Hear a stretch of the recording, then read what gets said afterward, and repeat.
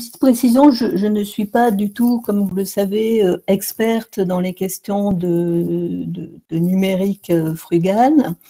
je fais de la recherche en mathématiques, mathématiques appliquées, modélisation. mais ça fait quelques années que je m'intéresse à cette question, notamment avec EcoInfo. Et surtout, j'ai participé à ce fameux MOOC Impact du numérique, alors j'ai participé en tant qu'auteur, c'était vraiment une expérience euh, très riche et très, très intéressante. Et, euh, et donc, euh, surtout, j'ai beaucoup appris pendant la rédaction de ce MOOC de mes collègues. Et voilà, je vais essayer de vous faire partager un petit peu ces, choses que j'ai appris. Alors, c'est vraiment une, une conférence d'introduction à la sobriété numérique. Hein, je vais, je vais vraiment dresser un tableau un petit peu général. Et euh, on va commencer par, euh, bah, les, enjeux environnementaux et plus euh, particulièrement le changement climatique qui motive pas mal de recherches dans le numérique. Alors là, c'est un, un diagramme qui est, qui est extrait d'un questionnaire qui a été proposé par le collectif Labo 1.5 un collectif qui se préoccupe de la transformation de la recherche. Et donc, euh, c'est la réponse à la question euh, euh, dans quelle mesure êtes-vous préoccupé par le changement climatique? Et donc, on voit que la réponse à la question est assez claire, puisqu'il y a à peu près 70% des personnes qui se déclarent au moins très occupées et 30% extrêmement occupées. Euh, donc euh, ce questionnaire, il a été proposé, euh, enfin c'est des chercheurs du CNRS qui ont été tirés au sort, mais il y a, il y a également d'autres enquêtes qui ont, qui ont, paru récemment. il y a l'enquête de, de l'INRIA à laquelle vous avez peut-être répondu. Donc il y a eu seulement 1000 participants par rapport à 6000 et les préoccupations étaient aussi claires, c'était de l'ordre de 80%. Euh, des enquêtes nationales ont aussi euh, euh, été faites et qui, corroborent ces, résultats. Donc c'est une préoccupation largement partagée. Et ben, on comprend pourquoi, parce que ben, le réchauffement climatique, c'est vraiment un fait. Et donc là, je vous, montre des courbes de température. Alors, il s'agit de la température globale c'est-à-dire c'est une abstraction, c'est une moyenne spatiale et, au cours de l'année qui, représente en quelque sorte le, réchauffement climatique. Donc la, référence ici, euh, les, les, 0 degrés, ça correspond à une moyenne sur une époque de 1850 à 1900. Et donc on voit que d'après ces euh, trois modèles qui font des calculs euh, qui ont fait les calculs, euh, on voit qu'on est proche de, des 1 degré 2 quand même euh, en, 2020. Donc il y a eu un réchauffement clair et net de plus de 1 degré. Et une autre chose qui est certaine, c'est que les activités humaines en sont la cause. Alors, ce qui est surprenant, c'est qu'il y a quand même encore 20% de sceptiques en France, d'après une étude de l'ADEME. Et donc, je vous fais un petit rappel historique parce que quand même, ça, interroge ces 20% de sceptiques. Donc, le, juste pour un, petit repère, c'est en 1824 que Joseph Fourier décrit euh, l'effet de serre. Pour ce qui est de, des soupçons d'une cause humaine, enfin d'un possible réchauffement dû aux activités humaines, les, premiers soupçons euh, vraiment sérieux, c'est autour des années 60. Et euh, ah, par contre, en 1995, dans le deuxième rapport du GIEC, euh, c'est beaucoup plus clair. Euh, on peut lire qu'une influence humaine discernable sur le climat mondial. Et ça, ça résulte de recherches. des preuves indirectes ont, été établies en étudiant l'atmosphère. Et finalement, une, vraie preuve directe a été établie en 2021 à partir d'observations euh, satellitaires. Donc c'est donc euh, tout récent. Alors, euh, pourquoi y a-t-il encore tant de sceptiques? Ben moi je dirais que quand même les marchands de doute, comme les appellent Naomi Oreskes et Eric Conway, qui sont deux historiens, n'y sont pas pour rien. Alors ces marchands de doute, ben, ce sont des, scientifiques qui, pendant depuis les, années 50, remettent en doute les résultats scientifiques concernant un tas de problèmes de santé environnementaux comme la dangerosité du, tabac, euh, donc le, réchauffement climatique, euh, la destruction de la couche d'ozone, euh, un tas de problématiques. Et ce qui est donc ils les remettent en cause en faisant de, nouvelles études scientifiques sur des sujets connexes et, et en fait ce qui est très surprenant, c'est que euh, deux scientifiques qui sont euh, à l'origine de ça, toujours les mêmes pour tous les problèmes. Et donc voilà, donc je vous recommande ce, livre, Les marchands de doute. Alors euh, revenons à notre sujet. Eh ben, chaque dixième de degré compte. Ben oui, parce que chaque dixième de degré augmente la probabilité de survenue d'événements extrêmes, disons comme les canicules, euh, les inondations, euh, les problèmes de sécheresse, et, c'est vraiment, vraiment ça le, problème. Donc, pour se faire une petite idée de, la chose, euh, pour un objectif de, 2 degrés de réchauffement, bien, les, les, scientifiques ont calculé que le budget carbone restant, donc en janvier 2020, c'était autour de 980 gigatonnes, 985 gigatonnes de CO2. Et les émissions mondiales en 2020, ben, c'était à peu près 40 gigatonnes de CO2. Donc si on fait le calcul, à ce rythme-là, ben, euh, on en a à peu près pour 25 euh, ans avant de dépasser les 2 degrés.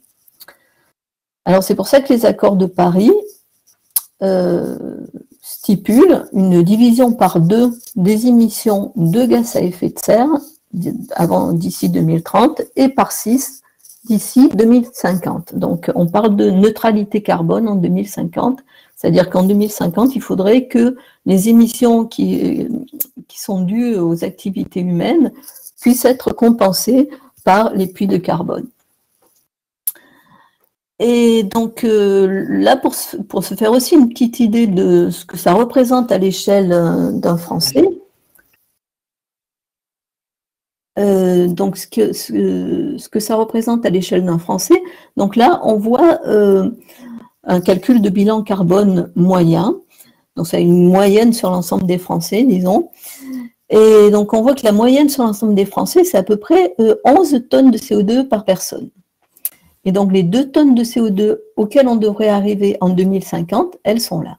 Donc là, le, bilan carbone est effectué sur différents euh, postes qui sont la, mobilité, le logement, les biens et services, l'alimentation, les services investissement public. Et donc, euh, tous ces euh, secteurs doivent être réduits, comme montré ci-dessus. Alors, où est le numérique dans tout ça? Ben, Le numérique, il est là, il est, fait partie des biens et services privés. Ce serait de l'ordre d'une tonne par personne. Donc, il faudrait passer pour les services privés de 2,1 euh, les, biens et services privés de 2,1 tonnes à 0,6 euh, tonnes, ce qui est une réduction euh, quand même conséquente. Donc, OK, mais dans tout ça, quelle est la part du numérique et est-ce est vrai qu'elle est inquiétante? Alors, ça fait pas très longtemps qu'on essaye de mesurer euh, cette chose-là. Euh, je crois que ça a démarré un petit peu en 2018 avec le, rapport du GIEC à 1,5 degré, euh, qui a vraiment sensibilisé les, consciences. Et, donc, depuis, plusieurs rapports ont, ont, été établis par le collectif Green IT, par le Shift Project, par l'ADEME. Et donc là, euh, voilà les chiffres mondiaux en 2019. Donc le, numérique, c'était 4,2% euh, de la consommation d'énergie primaire, c'est-à-dire l'énergie fossile hein, avant transformation.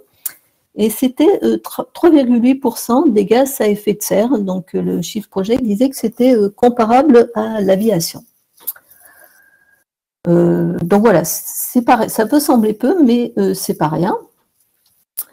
Et alors la première question, c'est ben, est-ce que ces chiffres sont vraiment fiables? Alors tout d'abord, il s'agit d'ordre de grandeur. C'est-à-dire que quand on dit que c'est 4% des émissions de gaz à effet de serre, c'est pas 40%, c'est pas 0,4%, c'est de l'ordre de, quelques pourcents. Alors selon les études, ça va être 2%, 3%, 4%, mais euh, voilà. Quoi. Donc ça donne déjà euh, une bonne idée. Alors pourquoi on peut pas, on n'a pas des mesures plus précises Pourquoi euh, donc c'est un exercice assez compliqué, hein, le, calcul des euh, le, bilan carbone. Non. Alors déjà, euh, la méthodologie, c'est une méthodologie normalisée qui est celle de l'analyse du cycle de vie. Donc on va faire une analyse multicritère et euh, multi-étapes. Alors multi-critères parce que ça va pas, on va pas regarder uniquement les émissions de gaz à effet de serre, mais d'autres impacts. Et euh, multi-étapes parce qu'on va regarder tout au long du cycle de vie, c'est-à-dire lors de l'extraction, la fabrication, le transport, euh, l'utilisation et la fin de vie. Et donc c'est un exercice assez complexe parce que, alors déjà, il manque des données, beaucoup, on n'a pas, euh, on n'a pas des mesures de tout, on n'a pas des données sur, tout, euh, sur le nombre d'équipements euh, total. Il faut faire des hypothèses, par exemple, sur la durée de vie. Et, et au final, ben, on a que, enfin, des, on est obligé aussi d'extrapoler à partir d'échantillons. Donc on a une vision assez approximative des choses, mais malgré tout, les, études se multiplient, euh, on, est dans des ordres de grandeur comparables, et ces, euh, chiffres sont vraiment très utiles pour sensibiliser, comprendre euh, et, au final prendre des décisions sur les actions à privilégier. Alors je vous mets en, référence les fiches concepts qui figurent dans le MOOC. Ces fiches concepts sont accessibles. Pas besoin de s'inscrire au MOOC, hein. il suffit de cliquer, vous avez accès à tout le contenu du MOOC sur un Git. Alors, je vous ai parlé d'analyse de, cycle de vie. Donc, non, il y a pas on ne regarde pas que les climats, mais aussi d'autres impacts. Alors, en ce qui concerne le, numérique, il y a un impact qui est très important et euh, qui est peut-être le, plus critique, c'est euh, l'attention sur les métaux c'est le fait que pour euh, fabriquer un, ordinateur ou un smartphone, il faut énormément de métaux, donc euh, plus de 50 pour un smartphone. Je crois que ça peut aller jusqu'à 80 sur un, sur un iPhone. Et euh, l'extraction de ces métaux pose de, gros problèmes. Alors déjà, les métaux ne sont pas, inépuisables. Donc ça, a des conséquences environnementales. il faut savoir que pour extraire 10 grammes d'or, euh, il faut à peu près une tonne de, minerais. Euh, donc euh, des causes environnementales de, pollution aussi, parce qu'il faut pour extraire, on, va utiliser des produits toxiques, des causes humaines, parce que ça peut se passer dans des pays où le travail n'est pas réglementé, donc le travail des enfants, c'est des conditions pénibles aussi de travail, des conditions géopolitiques. dans certains pays, euh, en guerre, l'extraction des métaux peut financer des, conflits armés. Donc voilà, ça c'est vraiment un gros problème, les métaux. Euh, il y a aussi la fin de vie. En fait, très peu d'équipements numériques sont recyclés. Bon, 20% en France. Souvent, ils n'aboutissent pas dans les, dans les bonnes filières. Et enfin, les inégalités face au numérique. Ben, le, oui, par exemple, on peut regarder les, le pourcentage d'utilisateurs d'Internet. Donc euh, en France, c'est 86%, euh, mais au Ghana, un, pays où beaucoup de déchets numériques aboutissent, c'est que 35%. Et en République démocratique du Congo, euh, qui est un groupe producteur de métaux, ben c'est 6%. Alors si, si, ces questions vous intéressent, là je, vous pouvez aller voir sur le site de l'association Systex, d'où vient cette image d'ailleurs, euh, qui est spécialisée dans les, mines et la production de, métaux, enfin les études concernant la production de métaux. Et je vous recommande aussi ce document de France 5, déchets électroniques, le grand détournement. Alors, une autre chose qui inquiète beaucoup, c'est euh, l'insoutenable croissance du numérique. Alors ici, je vous ai mis les chiffres de Green IT sur la progression des indicateurs d'impact principaux, euh, progression entre 2010 et 2025. Donc l'énergie s'est multipliée par 3, les gaz à effet de serre multipliés par 3, l'eau multipliée par 2,4, euh, les ressources minières par 2 et l'électricité euh, quasiment par 3.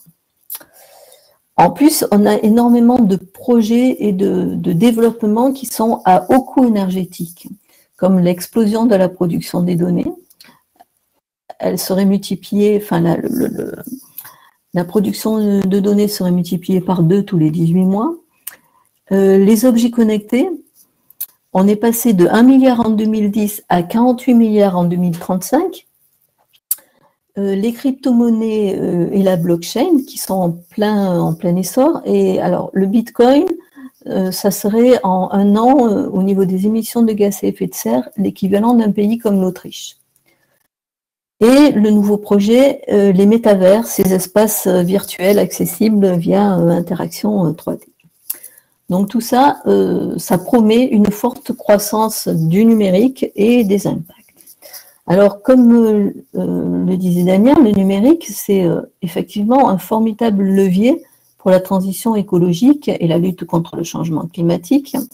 Alors, je ne vous en parlerai pas, je, vous renvoie à la, conférence qu'a donnée Jacques Sainte-Marie la semaine dernière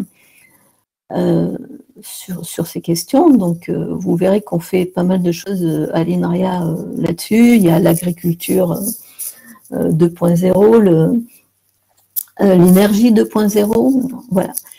Mais euh, vu l'impact du numérique, la, question se pose vraiment de le rendre euh, plus frugal. Alors, est-ce qu'on peut le faire? Alors, dans l'histoire, on a, enfin, historiquement, on a fait beaucoup de progrès en ce qui concerne l'efficience énergétique. Alors, l'efficience énergétique, c'est une quantité d'énergie c'est une mesure de la quantité d'énergie euh, économisée par service rendu. Alors, on va prendre un petit exemple, celui des, ordinateurs. Donc, euh, en 1944, l'ENIAC, c'était euh, le premier ordinateur. Il avait une puissance électrique de 150 kW et une puissance de calcul de 50 kiloflops. Alors, le, le service RADU pour un ordinateur, ben, c'est justement sa puissance de calcul qui est mesurée euh, en flop. Hein, le, nombre de, calculs, le nombre de calculs euh, à, virgule, flottante pardon, euh, qu'on peut effectuer en une seconde. Donc l'efficacité énergétique, ça va être le quotient des deux. les 50 K-flops divisés par les 150 kW. Pour le Fugaku, qui est un super ordinateur, le, dernier euh, construit au Japon en 2021, euh, la puissance électrique est de 30 MW et la puissance de calcul de 415 pétaflops.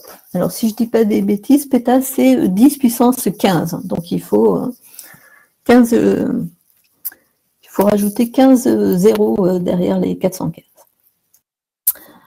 Euh, donc voilà, la puissance électrique a pas mal augmenté et la puissance de calcul encore plus. Donc c'est un peu ça l'efficacité énergétique, c'est faire plus avec plus.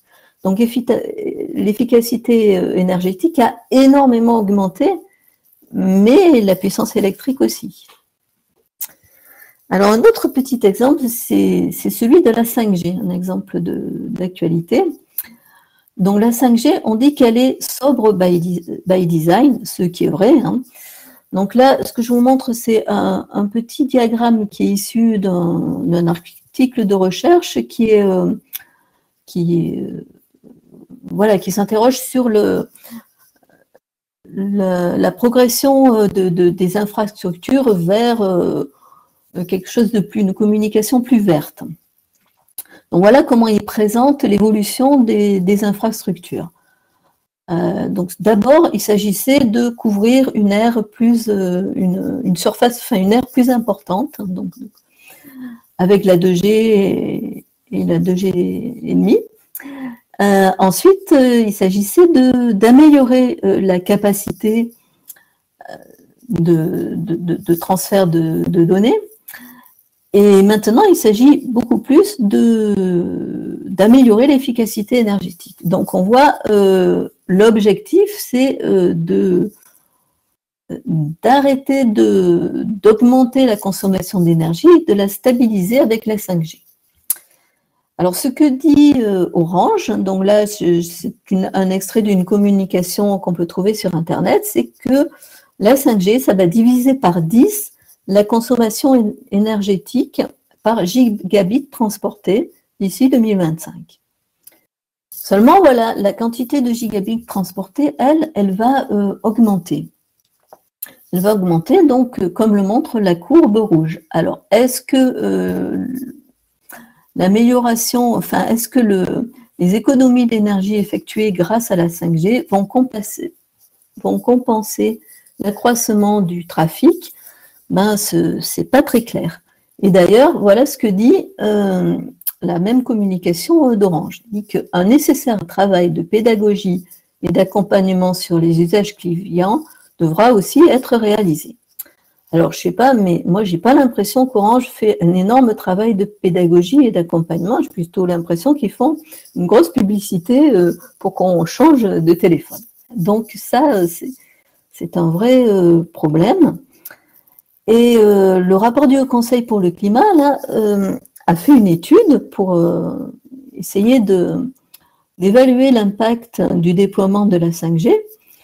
Et voilà les chiffres qu'il donne, c'est que le, déploiement de la 5G, ça devrait avoir un impact carbone de 2,7 à 6,7 mégatonnes équivalent CO2 en 2030 selon le scénario. Alors selon le scénario, ça veut dire que ben, on va peut-être, enfin, on va peut-être limiter, on pourrait limiter euh, le déploiement de la 5G à certains usages et pas faire la 5G pour tous. Donc il y a euh, plusieurs scénarios qui sont étudiés.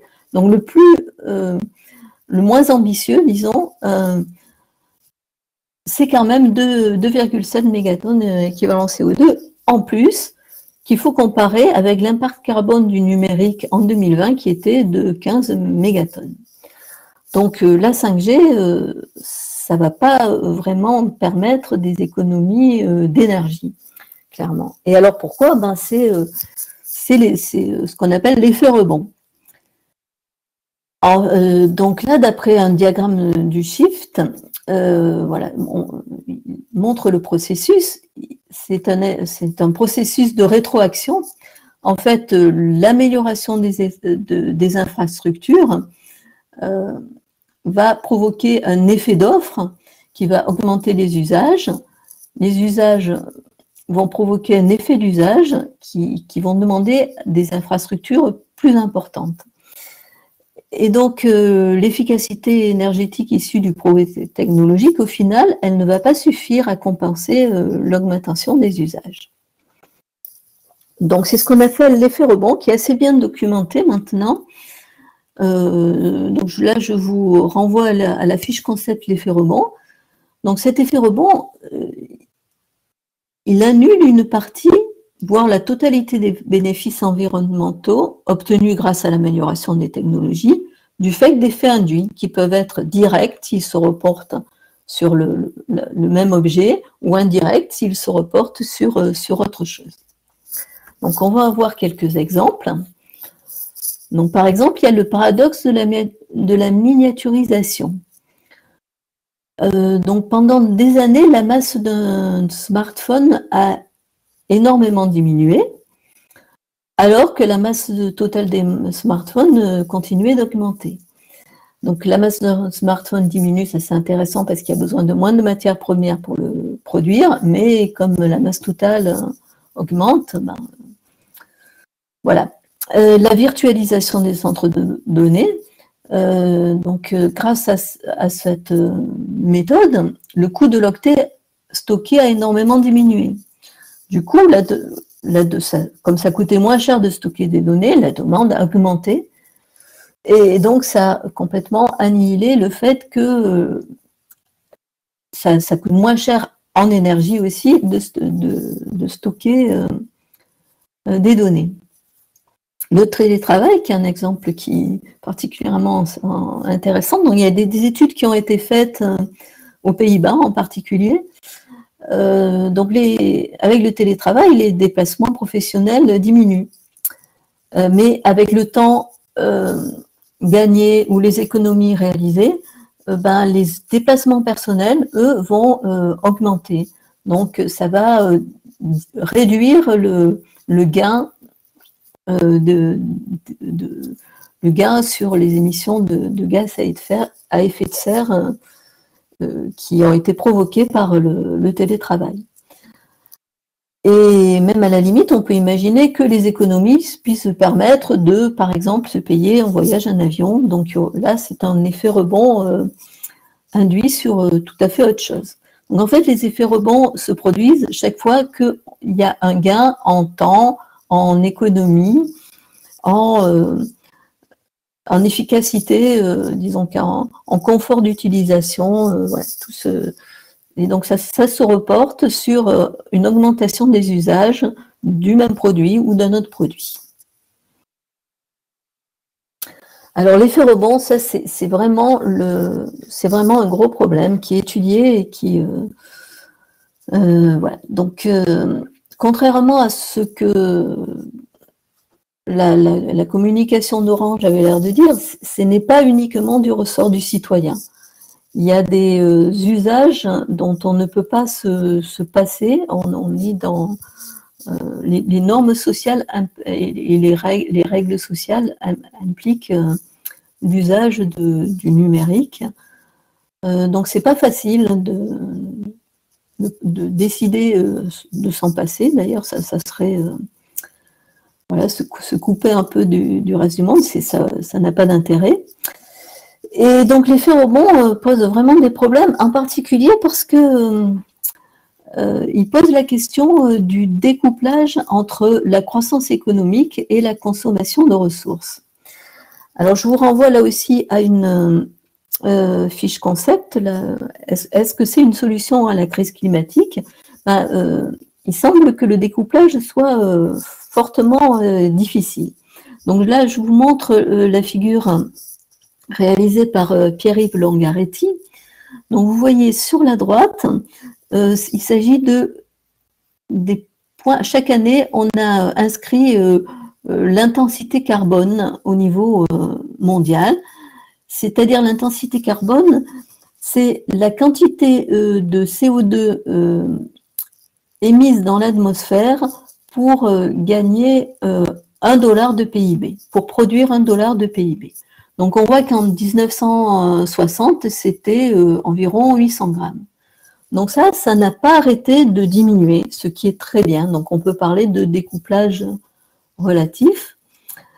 Et c'est en partie grâce à euh, l'efficacité énergétique.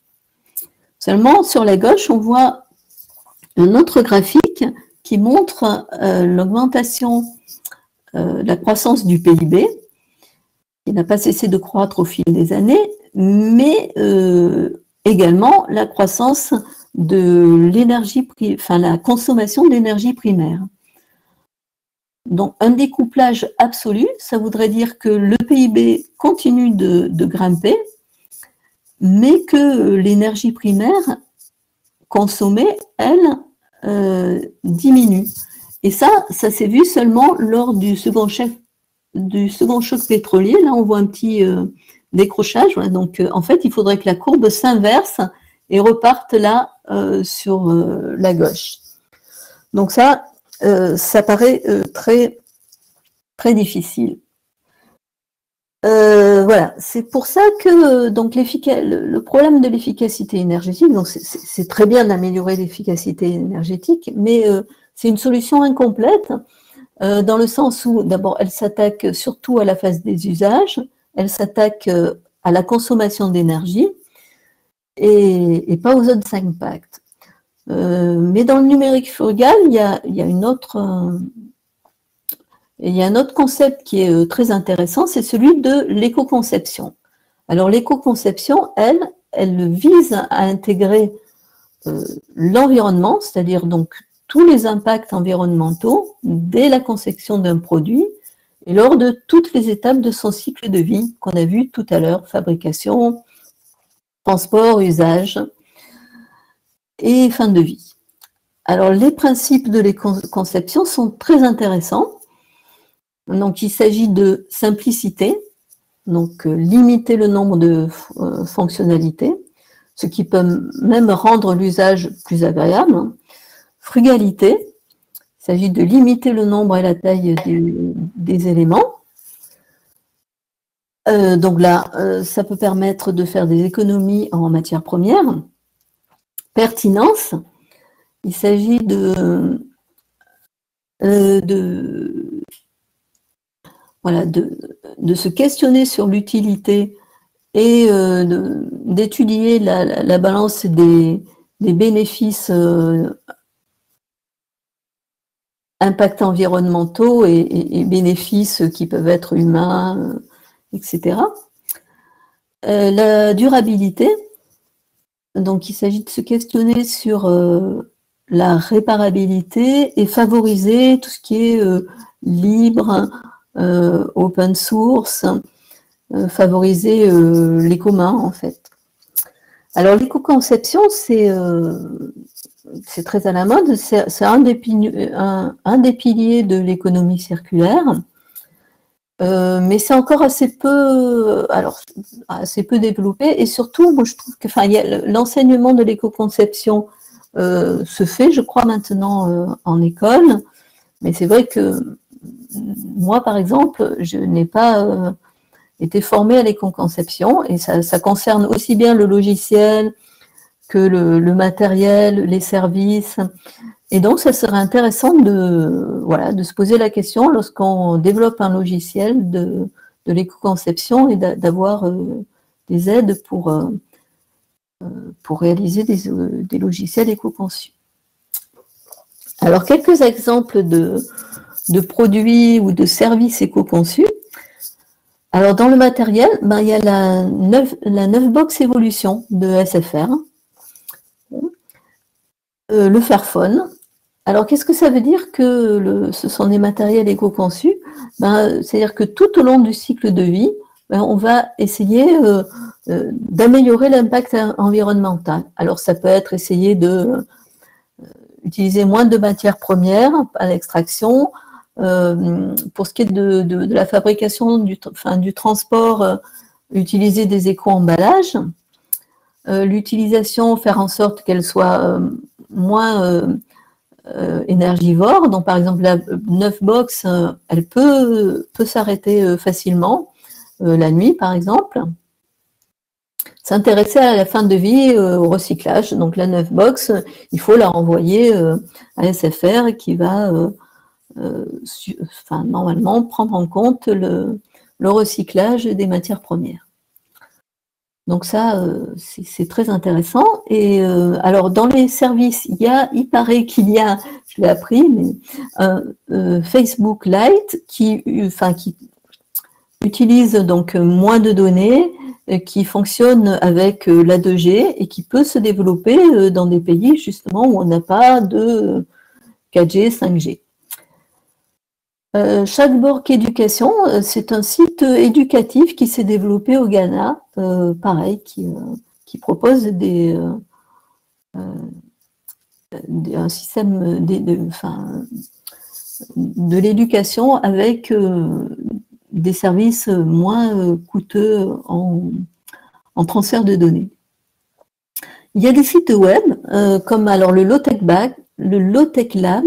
Alors le Tech Lab qui, recense un peu toutes les expériences low-tech. Donc là, je, le mentionne surtout parce que c'est un site éco-conçu, ainsi que Kairos. Alors Kairos, ça a été fondé par un skipper.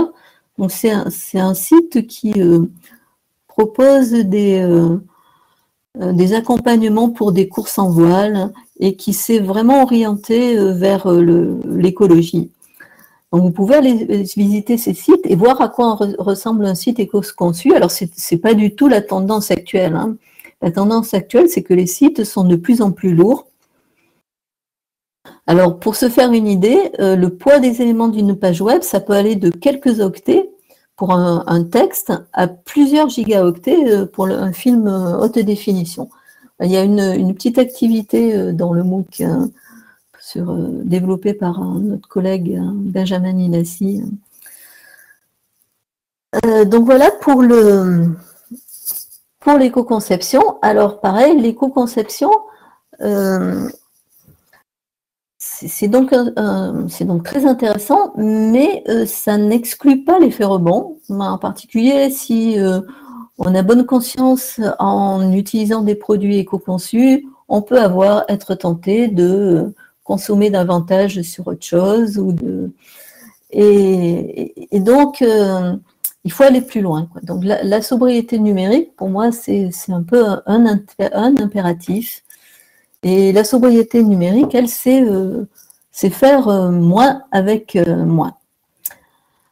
Alors, euh, la sobriété numérique, j'aime bien la définition qu'en donne le Shift Project, euh, qui dit que ça passe, alors il s'agit bien entendu de, diminuer l'empreinte énergétique et environnementale du numérique, dont le Shift Project dit que ça passe par un retour à une capacité individuelle et collective à interroger l'utilité sociale et économique de nos comportements d'achat et de nos consommations d'objets et de services, et à les adapter.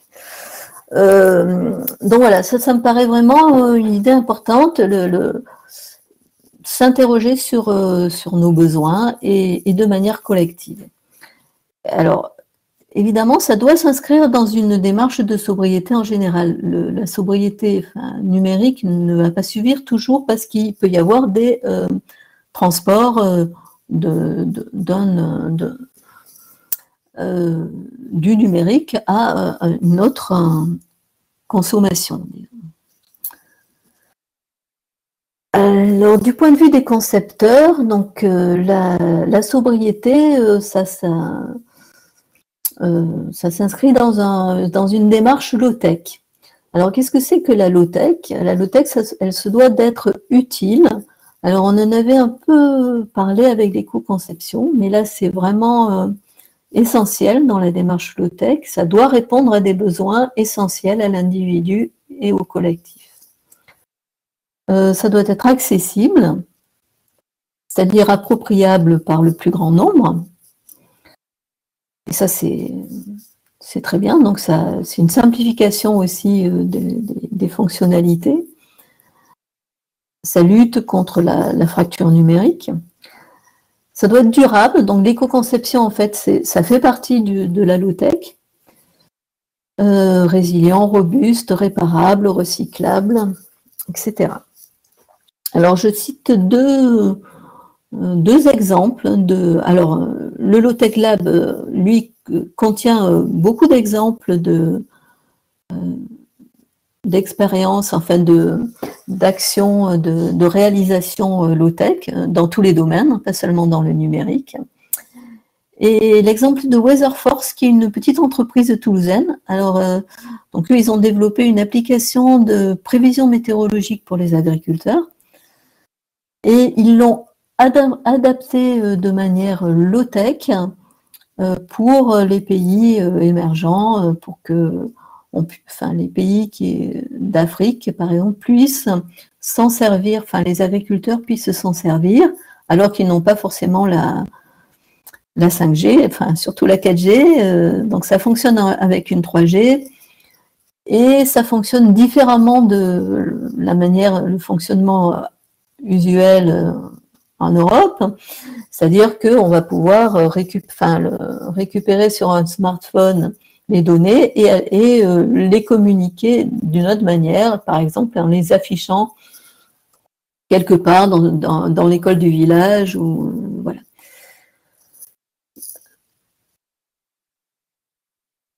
Alors, euh, quand même, je vais vous donner euh, quelques petits euh, conseils sur les, gestes hein, de la sobriété numérique. Alors, ça s'appelle les 5 R de la sobriété numérique. C'est les 5 R, ça vient de, des démarches zéro déchet. Hein. c'est à peu près les mêmes, c'est les, mêmes 5 R. vous les trouverez. Alors, il y a, on peut trouver ça un petit peu partout, en particulier. Il y, a, également une fiche concept dans le MOOC. Euh, le site euh, sobriété, le Profonde Transition a une page très complète euh, là-dessus, mais il y a aussi Greenpeace qui, a, sorti des choses, l'ADEME. Donc là, je vous fais un petit résumé. Peut-être les choses les plus impactantes, parce que quand on parle des actions, on peut les classer des plus impactantes aux moins impactantes, des plus difficiles à mettre en œuvre aux, moins difficiles à mettre en œuvre. Et c'est ça qui est important d'étudier, savoir essayer de, de favoriser euh, les actions qui vont être moins difficiles à mettre en œuvre et euh, qui vont avoir un fort impact.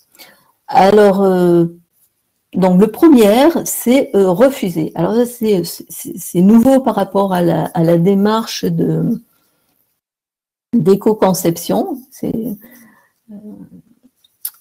voilà, c'est vraiment parfois il faut euh, refuser, refuser de changer trop souvent d'équipement. Il faut savoir que les Français ils changent de smartphone tous les 20 mois en moyenne. Euh, refuser de multiplier ces équipements. Donc en France, on a 11 équipements par personne contre 8 dans le monde. Refuser d'adhérer à un nouveau service, Netflix par exemple. Euh, réduire alors le, deuxième R, c'est réduire, hein, réduire sa consommation, euh, son empreinte, sa présence.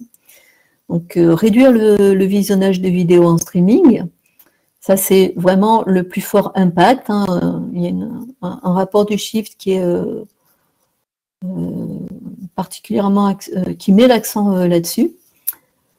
la vidéo, ce serait 80% de l'activité Internet. diminuer, réduire la quantité de données. Alors, on peut faire ça en adaptant les résolutions. Hein. On n'a pas besoin d'une très haute résolution sur un téléphone, par exemple. en euh, en bannissant les pièces jointes euh, lourdes dans ces envois mail, surtout à plusieurs personnes.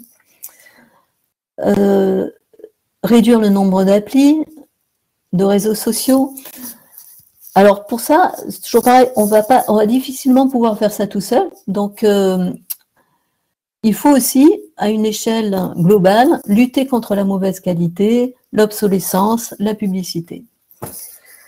Alors le troisième R, réutiliser ou réparer, donc euh, acheter d'occasion ou reconditionner, donner ou revendre à des associations euh, dédiées.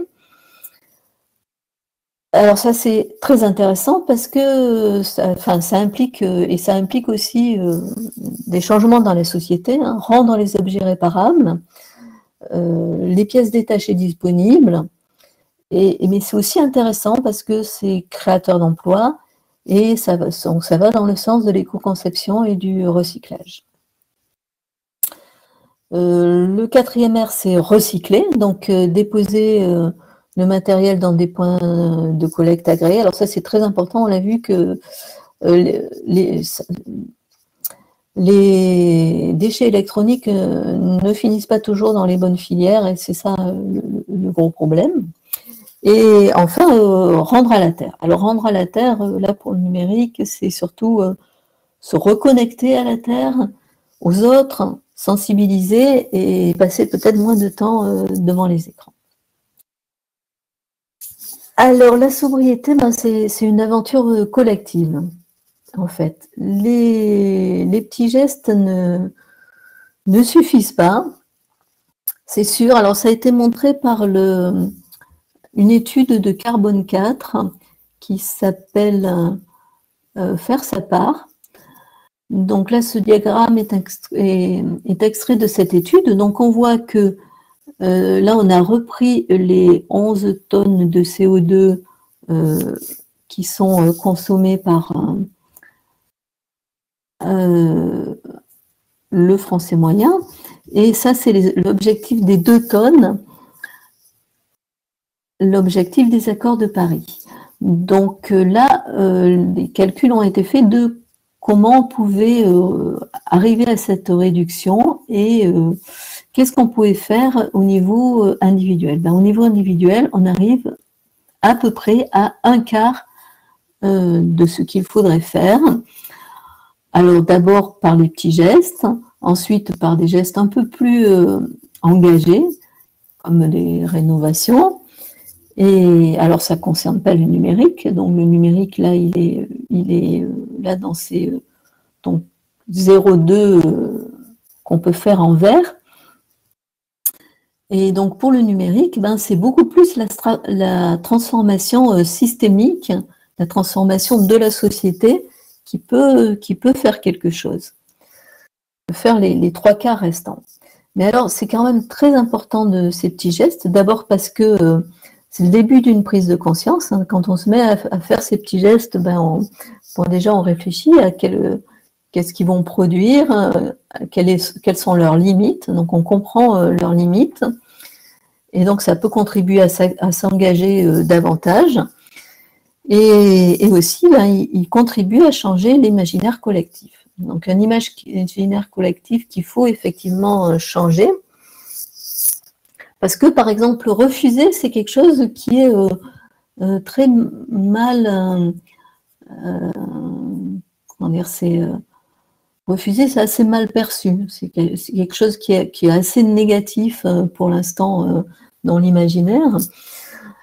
Euh, mais voilà, euh, on ne va pas pouvoir faire l'impasse sur refuser un certain nombre de choses parce que euh, même l'économie circulaire, qui est un projet très intéressant et, très prometteur, ne suffit pas à satisfaire la, demande en, en, ressources dans une économie où on continue à croître et donc à ne pas refuser certains usages, certaines consommations.